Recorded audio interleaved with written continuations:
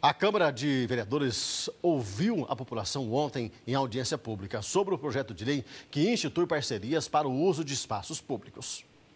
Quase 300 pessoas participaram da audiência pública. O autor do projeto, o vereador Fernando Madureira, explicou que a intenção é melhorar a segurança, garantir a manutenção e organizar a utilização dos espaços pela sociedade. De tanto ver espaços é, debandados, espaços descuidados, a ideia do projeto é clara, é simples, é isso aí é dar esse termo de autorização de uso. Representantes de associações de bairros e de projetos culturais demonstraram preocupação com a possibilidade do projeto restringir o uso de áreas públicas. Gostaria muito que o senhor retirasse esse projeto e perguntasse a cada um e cada uma que está aqui hoje que usa o espaço, o que eles desejam para esses espaços. É direito nosso o espaço público.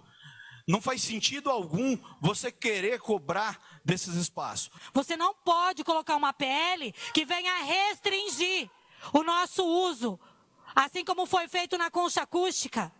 Nós temos o direito à liberdade de expressão e a lei dos artistas de rua nos garante derrubar essa PL. A vereadora Lenir de Assis esteve hoje no jornal Primeira Hora e se posicionou contrária ao projeto. As maiores cobranças que nós temos na Câmara é o zelo né, pelo espaço público, são as praças limpas, são as praças iluminadas, são os, os espaços bem cuidados. Na medida em que se acontece, ainda mais com autorização legislativa, isso deixa de ser público. Eis aí a questão. Pelo projeto, projeto, espaços públicos como a Praça da Juventude na Zona Norte poderiam ser geridos por associações sem fins lucrativos.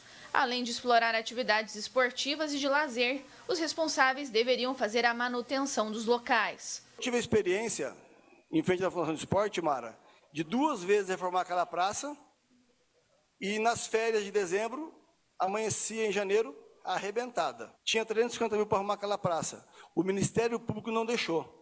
Ele justificou o seguinte: já gastou dinheiro duas vezes, não pode gastar mais. Tem que ter um plano de segurança, que daí já não, vem, não é mais o viés do esporte. Outra preocupação com os espaços de lazer é o uso para eventos particulares.